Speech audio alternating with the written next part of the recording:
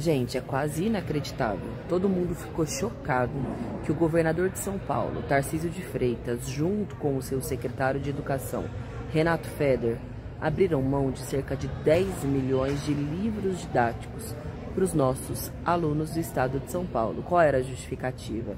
Não, em São Paulo os alunos vão ter acesso tudo à internet. Como se os alunos de fato tivessem acesso à internet e sustentando a tese absurda de que livros são substituíveis. Mas foi revelado que está por trás dessa palhaçada. Na verdade, o Renato Feder é um dos sócios de uma empresa que vende computadores. E adivinha?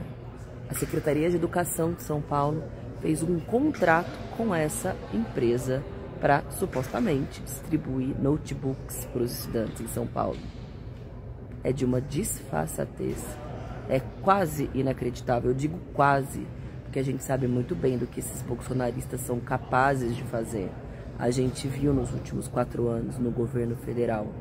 Por isso que é tão importante que a gente siga denunciando. Nosso mandato mesmo já tomou iniciativas junto ao Tribunal de Contas da União, junto ao Ministério Público Estadual.